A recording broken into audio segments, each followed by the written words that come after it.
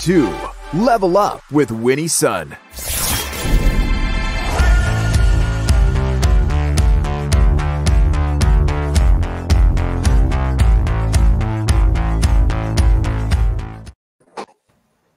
Hello, hello, and thank you so much for tuning in. I'm Winnie Sun, your host, and happy Tuesday to you, and welcome to the show. And if you're joining us on the replay, hello, hello, thank you so much for tuning in, and please include in comments the word replay so I'll make sure to catch your view. I certainly don't want to miss you. And if you're joining us live, well, hello, welcome to the show. Let's start with the microweeks. Let you know how everything closed. The Dow closed down 200 points, the Nasdaq closed up 65 points, and then S&P 500 closed down seven points as Congress passes legislation with a 900 billion in COVID-19 relief and a 1.4 trillion to help fund the government through September 30th. Uh, this measure includes a, as you know, a $300 per week an enhanced unemployment benefit. 284 uh, billion is going to the Paycheck Protection Program for those who are small business owners, and the $600 direct stimulus checks, those direct payments uh, for many Americans, and 8 billion for COVID 19 vaccine distribution, among many, many other uh, terms. So the aid comes after a, a, lot of talk, actually. We've been waiting for a very long time for uh, our politicians and elected officials to decide on this next package. So we're, you know, it's sort of a, a, first step. It's a first step in the right direction.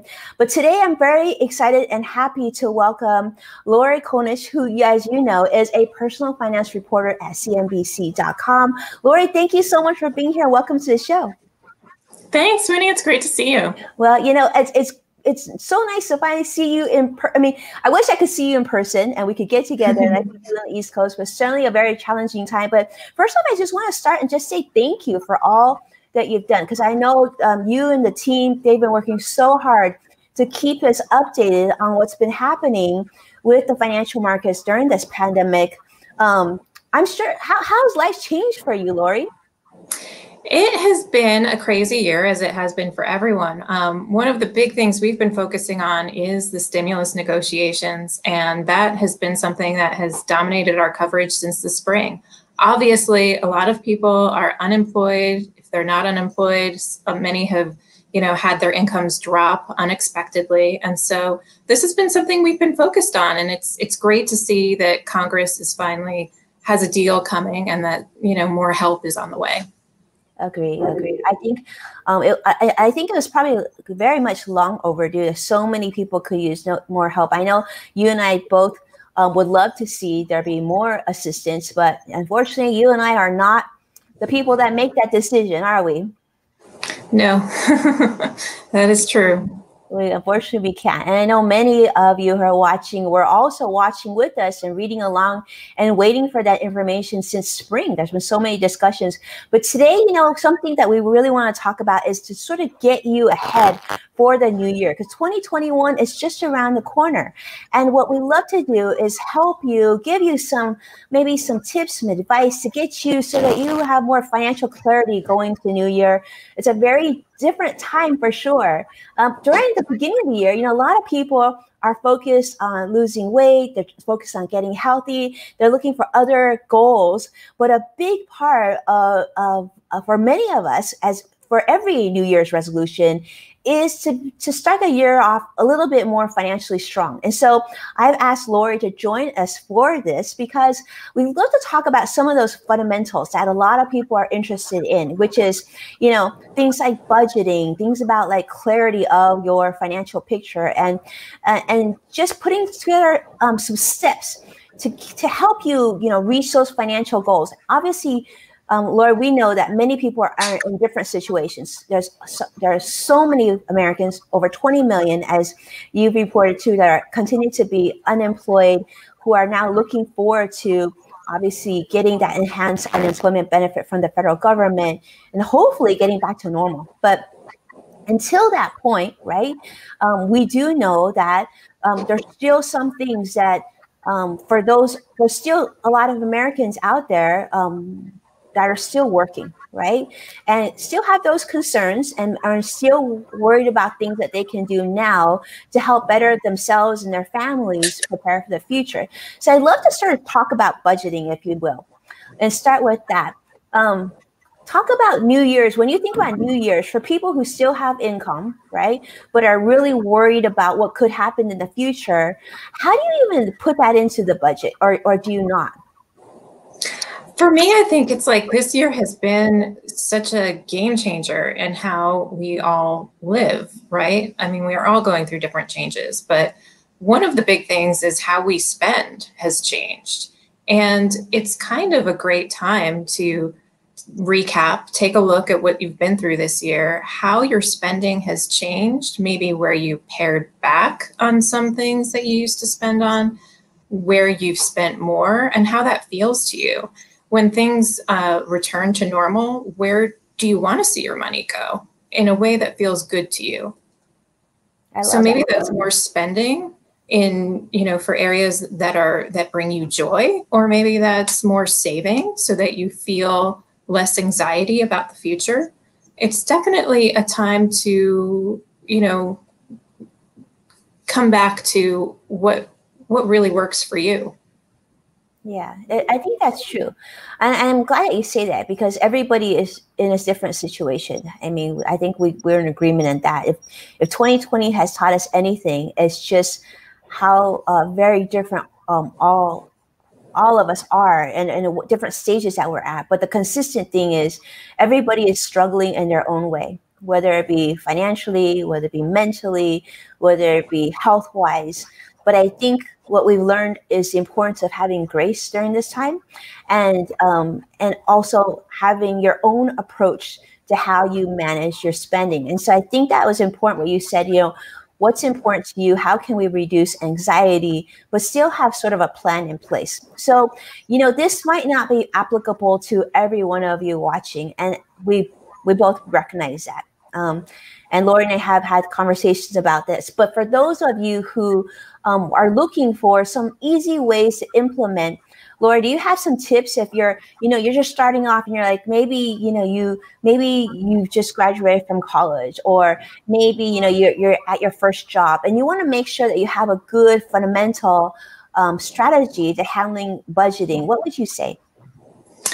I would say start with automating your savings. Um, that's one thing that, you know, if you don't even see the money when it lands into your bank account and it's already being put aside, that's just an automatic habit. It's a lot harder to do after um, you already see the paycheck and think of all the things that you need to, um, the bills you need to pay or things that you, other things you want to do. So that's a great place to start. And if you are able to set aside money towards retirement. That is a goal that is really important, particularly if you know you're just starting out at a new job and there's a company match. You don't want to give that up. Um, you know, even investing in a Roth IRA, that's post-tax money, but it's still, you know, it could be a de facto emergency savings. So it's you know getting those healthy financial habits in order so that you know your future self will be thanking you if you need to you know tap those funds for whatever reason. Yeah absolutely. You know i think you know this pandemic has really been an eye-opening experience for so many of us because i know many people never expected to um, not be able to go to work right? Now like you and i are both working from home. Like I think we never expected to not be able to go in the office safely because and to be fearful of something that we can't see, right? Um, so this was definitely an experience that many of us didn't anticipate, and certainly very difficult to put into the overall budget because we have we really haven't gone through this process. But I agree with you. If you can automate that savings, that does take you out of the picture of having to remember to save. So if you are in a position to save, that is a great strategy. We've seen that with your 401k at work. And like Lorie mentioned too, if if you still have that company matching at work, don't discount how powerful that is for your future retirement savings. Now we do know um, that there's been a lot of companies that have had to, because of the pandemic, decrease or do away with that company matching. And so that might make your decision um, more challenging. But I would say, and I, I think Lorie, I'm going to guess you, you would feel this way too. If if you are in a position of an ability to save for your 401k, even without the match, the tax advantages make it so that it's worthy of your consideration. Would you agree? I would agree, definitely. Um, yeah. You know, it's it's your future self, and it's harder to catch up the longer you wait to do it. Um, so we often see numbers of, you know, if you start when you're in your 20s versus your 30s versus your 40s, et cetera, it, the more you have to invest um, in order to catch up. But it's also like if you start earlier, you have that compounding interest, that time on your side. So it just it's it makes life easier for you if you can do it. I realize that a lot of people are grappling with unemployment, with student loans, with other competing priorities, and that can make it difficult. But um, you know, having a strategy for how to juggle that all without neglecting your savings is really important. Yeah, absolutely. You know, it's interesting because the, these sort of fundamentals are important regardless of you know where you are. But this year is so different, right, Lorie? I mean, there's so much that we didn't expect that's pulling against sort of those basic financial principles that we all need to try to you know keep up with. But this year is really different and i, I don't know i think we've we've talked a lot about this you and i but like the importance of um, being forgiving to yourself you know? If you're not able to save this year it's okay. If you can't you know if you can't do the things that um, you feel like you're falling behind don't feel that way if you can. But know that um, everybody understands and and and and more importantly there will be uh, when you're ready to invest when you're able to save these vehicles will be available to you but don't feel like uh, Lorie and I both, I think um, you're nodding, so I can see that both of us are not saying that you have to save this year or do you have to invest this year. In fact, it's not even this year, but anytime. But you know, it has to it has to make sense for you and has to be comfortable for you, and it, it can't um, create financial anxiety for you. You have to be in a good state of mind in order to start this this process, right? so, you know, Lorie, obviously you've talked to a lot of people during this time too. What has been your sense? Um, are people um, do you, do you find people to be very much varied in their experiences right now, or do you feel like you are there some common themes that you've been hearing? I think it's really a mix, and we've seen so many different things going on in the economy, right? I mean, there's people who are working from home and they've sort of been just cooped up, but their income hasn't changed, versus others who really have had the floor pulled out from underneath them amid this pandemic with you know, worries about keeping a roof over their heads or, you know, uh, where they're going to find their next job. So it's really a mix of things that are happening. And I think it's just a reminder it's the holiday season for all of us to just stay aware and be empathetic to what someone else might be going through. Um, because I think we don't always want to share, you know, um, financial struggles. It's mm-hmm. kind of something that people don't talk about readily, but it impacts your whole life. And it can feel like there's a lot of pressure around holiday time to act like there's nothing wrong. But I think there's no um, shame in, you know, celebrating holidays a little differently this year and really just having a sense of gratitude for, you know, having come through as much as we have. Absolutely. And I, and I love that you said that because I do think that we've all gone through this in our own ways, right? I even take a look at my kids, my kids downstairs, and you know, they haven't seen their friends in so long. They haven't been able to see grandma, grandpa in so long. They they they're even scared of going sometimes to the backyard um, because that you know as, as, a young child, you don't understand what you can't see. You don't understand what COVID is, and you don't understand why when we do go out, some people wear masks and some people don't wear masks, and um, you feel a real sense of insecurity, right? Um, but and then you, you add that in with like the holidays and and how how different that has been for so many of us it's a lot. I mean, how are you doing? Are you are you okay? I'm okay. I am cooped up in my apartment, and you know, um, I'm used to going to the office. What you said really resonated with me. I never would have thought. I never thought I was a work from home person, and you had to become one this year if you were lucky enough to still be employed. So it's um, you know we're all living in different situations and adjusting and there's a lot of stresses out there whether it's you know you mentioned being afraid even to go into your backyard and that's a mm-hmm. reality for a lot of us as we try to absorb so much more information. Um, you know it's it's great to work in an area where i'm part of you know learning that information and sharing it with people. I think it's been so vital this year. But it's also good to take time to reconnect with people you know wherever you can. And i think that's regardless of your situation one of the you know most important things to keep doing right now. I love that. And so you know one thing i've noticed too Lorie is like sometimes you need positivity to, to sort of balance out the negativity in your life right? And so I, mean, I, I, will tell you, I am so grateful to to know you and call you a friend, and, and I, I love what you and the team do at CNBC, and it's and I, and it's important work. It really is, and it sometimes, you know, sometimes it can be polarizing, and I know that having worked with the team at CNBC for this many years, like, it's some of the nicest, kindest people um, work.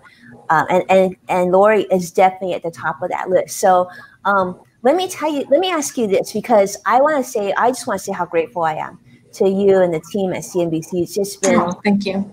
Yeah, I wish I had this information when my parents.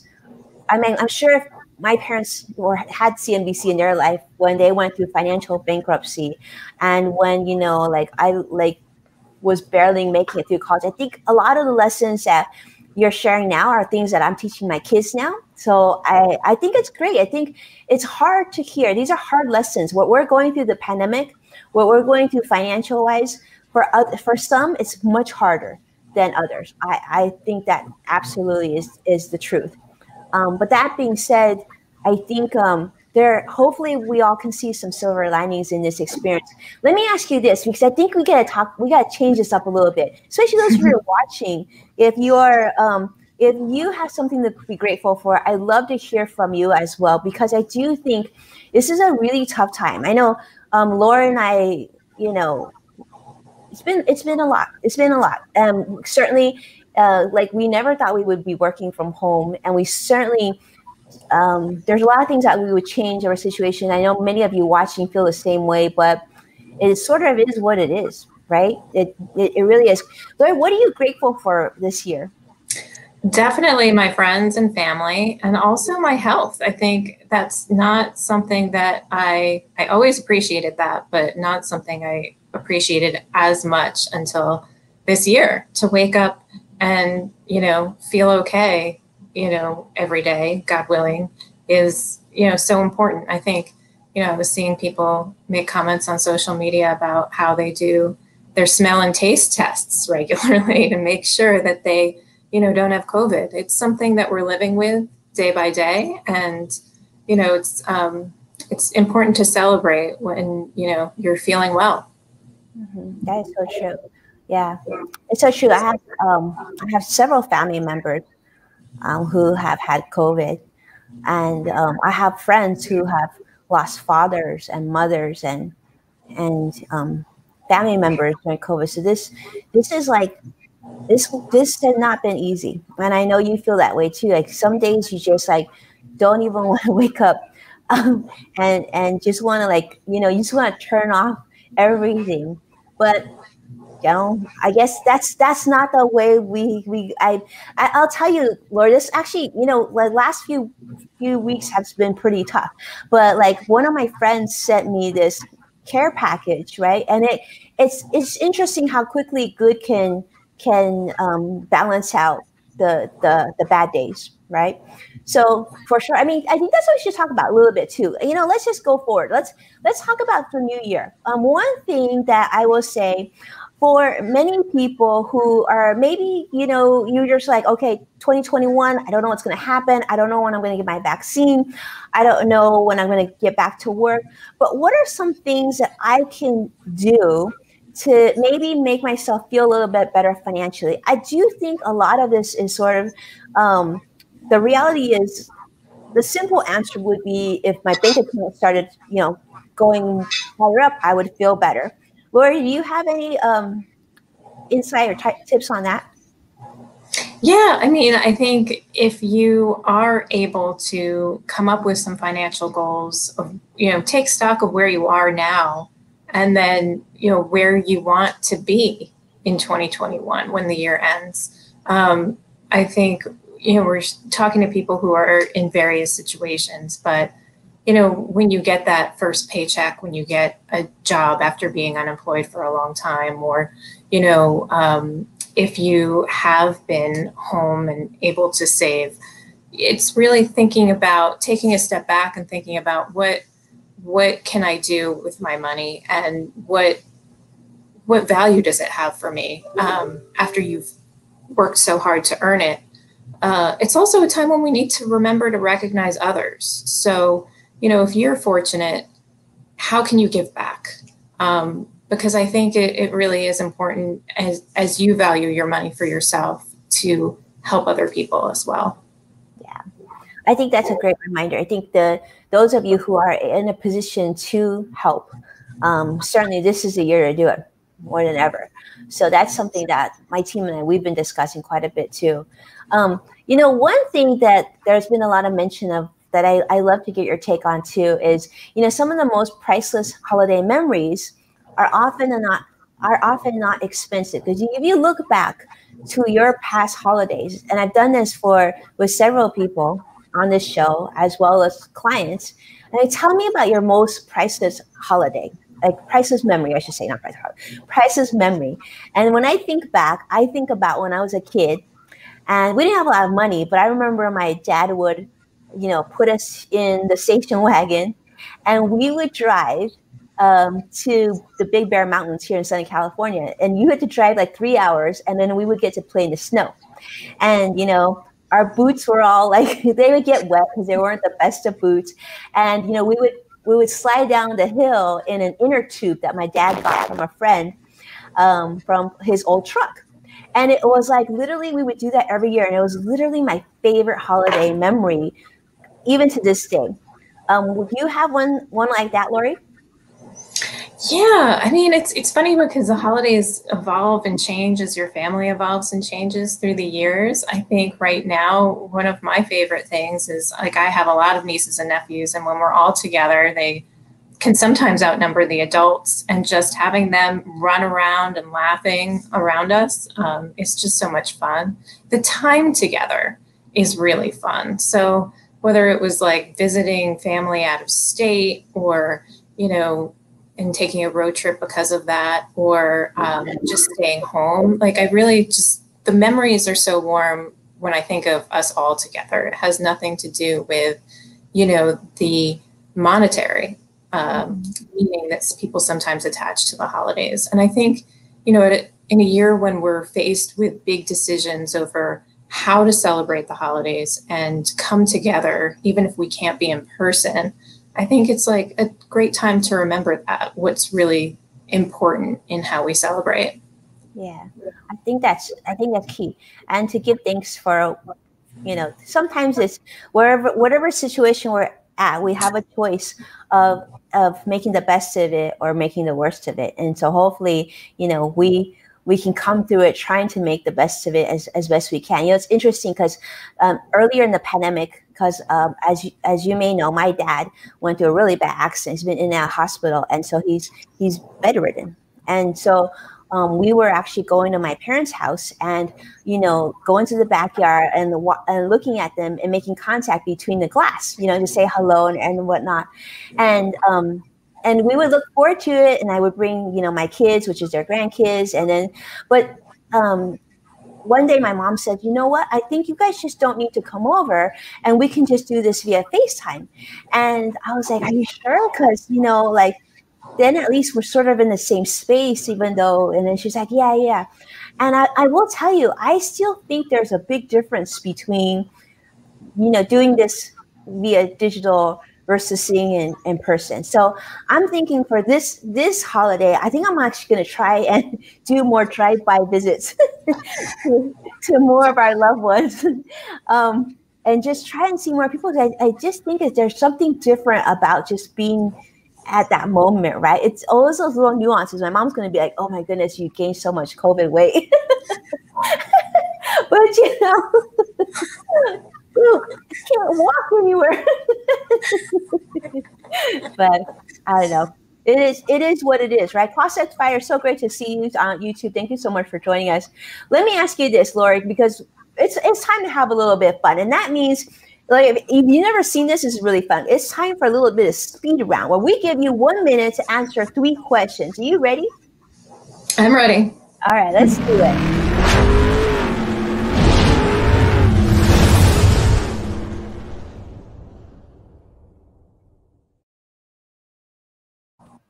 All right, Lorie, let's see if you're ready for this. Okay. So this might be helpful, but it may not be helpful. But we want to really know that is, what is the most memorable holiday dish that you've cooked or you've eaten? It's definitely my mom's turnip puff, which is kind of like a mashed potato kind of side dish that she makes on Thanksgiving, um, made from turnips. And it's definitely a hit in my house. I know, you know, she's sometimes given my sister the leftovers, and I'm always jealous. Are you going to be able to get some of that this year? I hope so. Yeah. I actually need to learn how to make it myself. Oh, there you go. You know, that's what COVID helps us learn how to cook for sure. Okay. Second question. You know, you are a very distinguished reporter. You get to interview anyone alive or otherwise dead, I guess dead, who uh, who would you select to talk to? Martin Luther King Jr. Definitely. Uh-huh. Um, just such an important historical figure and would love to, you know, just find out more about him. It's hard to pick one person though. So I have I definitely have backups, but usually in the historical figure realm. Yeah. I love that. What a great choice. Wonderful. Okay. And number three, this is last question. What's a silver lining that has come out of this pandemic for you, Lorie? I think learning to be flexible and just doing different things. So normally I'm running and going to the gym and this year I you know, I have an old bike and I fixed that up and started riding it instead because I felt like I had all of this cabin fever and wanted to really get out safely. And so it's definitely been a time when I've, you know, there's been surprises that have come up in terms of things that I'm doing differently that I wouldn't have done otherwise, I don't think because I've had this time. I love that. You know, it's so true. I think there's definitely been some silver linings. I mean, I just feel like spending. I've actually had so much time just spending time with my kids that I think that's been amazing. Plus, I've been able to cook things I never thought I would ever cook, Lorie. I mean, I never thought I would be able to bake bread that actually looked like bread. So that was that was pretty exciting. So I mean, in, in Asian families, you don't really cook a lot. You don't bake a lot of bread. So this is a really big deal. well, I, I love this, Lorie. It's been so wonderful. I'm so glad. I know you're so busy right now, writing so much articles that are helpful to so many people during this time. So thank you for making the time. And thank you to all of you for tuning in as we meet people who are in the trenches like Lorie, who are moving mountains like Lorie, getting stuff done. And we're talking trending and sharing real stories that you can use, real financial news that hopefully is helpful. This week is going to be shorter, as we know, because the holidays are around right around the quarter. The market is closed on Friday. So thank you so much for watching, supporting our program, and sharing the show with those that you love yourself. So be well, and I can't wait to see you again tomorrow. Take care now.